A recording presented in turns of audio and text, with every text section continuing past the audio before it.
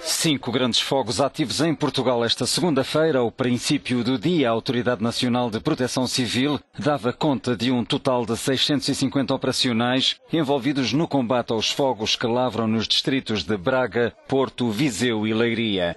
A situação mais complicada é a do Parque Natural das Serras de Aire e Candeeiros, em Leiria, onde o fogo progride com grande intensidade e em terreno de difícil acesso, tendo recebido durante a noite reforços de meios terrestres enviados do Distrito de Lisboa e do Distrito de Santarém. Os responsáveis da Proteção Civil esperam que o apoio de meios aéreos permita um avanço mais rápido das equipas no terreno, confrontadas a um dia que promete ser particularmente exigente na área do combate aos incêndios florestais.